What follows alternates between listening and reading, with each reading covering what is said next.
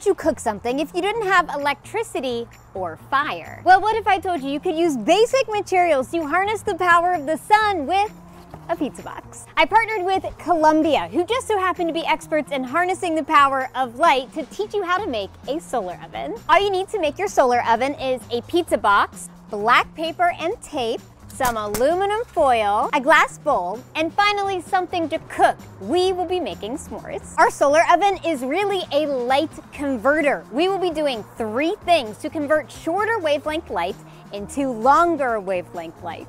Huh? What does that mean? Well, visible light is the kind that we see with our eyes. Think Roy G. Biv, the rainbow. This is the type of light that's in the middle of the electromagnetic spectrum. This is the shorter wavelength light that we'll be capturing and converting. When you have light waves that are slightly longer than visible light, it becomes something else infrared light. This is the invisible light that is emitted when something is hot. In fact, your own body gives off infrared light, but you can only see it with one of those fancy heat sensing cameras. This is where Columbia's OmniHeat Infinity technology comes into play. It takes advantage of your own body heat. These little gold dots reflect that infrared light, that body heat back onto your body, keeping you warm. The genius is in its simplicity. It's very much a work smarter, not harder type of technology. You don't need electricity, you don't need batteries. You just need to trap that invisible light you're already emitting. We're going to be using this light harnessing technology as inspiration to get our solar oven as hot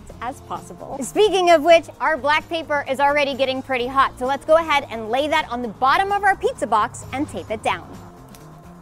We're using black paper here because black absorbs visible light and then converts it into heat or infrared light. We're not using white paper here because white would reflect that light away, acting more like a mirror. This is why we wear lighter colors on a hot day to keep us cool. The second thing we're going to do is put our tin foil on the top part of our pizza box. This is going to act like a mirror, reflecting as much of that visible light as possible onto our black paper into our solar oven. Now tape it at an angle so it's reflecting light into the solar oven. Just like that. And finally, we are going to put a glass bowl over our s'mores or whatever you choose to cook. This is going to create a greenhouse effect that traps the light. Here's what's going to happen. Shorter wavelength light from the sun will come into our glass bowl, but then it is heated up by the black paper and converted into longer wavelength light, into infrared light. But here's the cool part. Are you ready for this? Infrared light cannot go through glass because glass acts like a mirror to longer wavelength light. So here's what we've done. We have trapped that heat, that infrared light inside of our bowl, and that's going to make it hotter and hotter and hotter. Now go ahead and put your chocolate in, put your bowl on top, and point your solar oven towards the sun. We have our control here so that we can compare. Now, depending on how hot your day is, this will take between two minutes to like 10 minutes. But after that, your chocolate should be nice and melty. Oh my gosh, this says, look at this. At 112, that's crazy. Oh wow, that's like a 25, 30 almost degree difference. Now for the highly scientific smush test. Okay, you ready? Three, two, one. Look at that smush!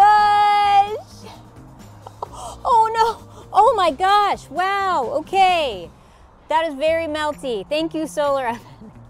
Good job, Solar Oven. Now we'll compare the smushability to our control. It smushes, but it doesn't melt.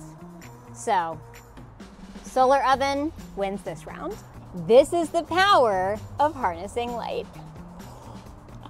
Thank you to Columbia for sponsoring this video. Be sure to use OmniHeat Infinity technology to keep you warm and use the solar oven to get things hot. Wow.